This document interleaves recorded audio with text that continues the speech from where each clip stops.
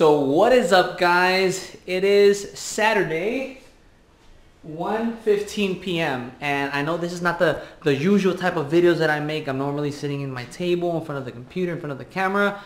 But I wanted to make a video a little bit more about what I do outside of the usual vlogs and, and usual just skate content per se. Um, because I think that the more I introduce you guys to, into my life, the better you guys get to know me and the more successful this relationship, this channel will be. So I'm really excited. This weekend is extremely busy weekend for me. I've acquired some new toys here.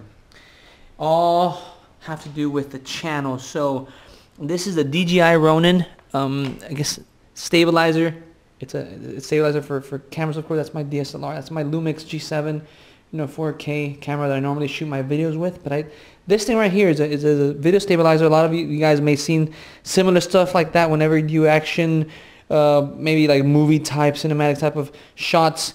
It's just basically to make the, the shots super, super steady, super smooth, and um, just to improve the overall quality, whatever it is that you're shooting. So that's in my possession now, and this is also a glide cam. It's similar uh, purpose device, but it's more of a manual one. There's no engine on this one. There's, a, there's an electronic engine on that, but there's not one on this. Again, it's to make the, the shot like really, really stable. Obviously, there's weight in the bottom. You run to objects, come back, and you like you can you can move and it'll absorb the shock of the movement. So it's taught to stabilize um, video uh, shooting, and some of these things are remote controlled. Aside from that, this is my Dell Latitude laptop that I normally use. It's a Core i5 um, and which I have Camtasia Studio 8 installed here. That's what I use to do my video editing. I've recently purchased this from a friend.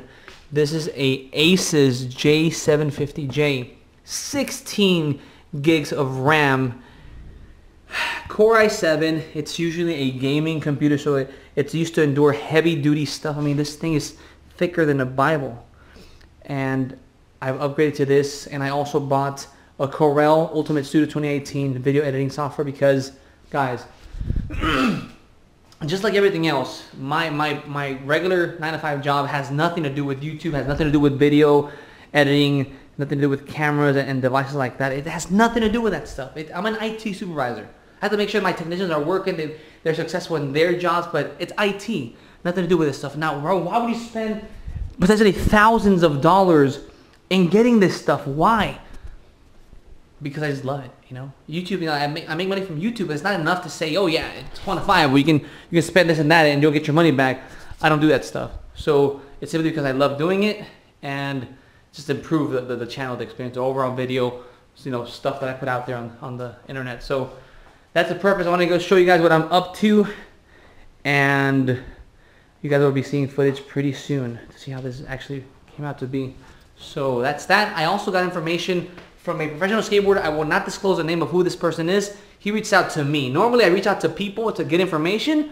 This guy reached out to me and gave me some pretty interesting information about a, a subject a lot of you guys are very interested in knowing. So be on the lookout for the next vlog and for the new footage, more improved footage when it's it's all this is all done and settled with. So guys, thank you so much for your patience. I know I'm not being the best as far as uploading on the you know weekly on the dot Especially, I think your name is uh, G Real Free or Free G Real.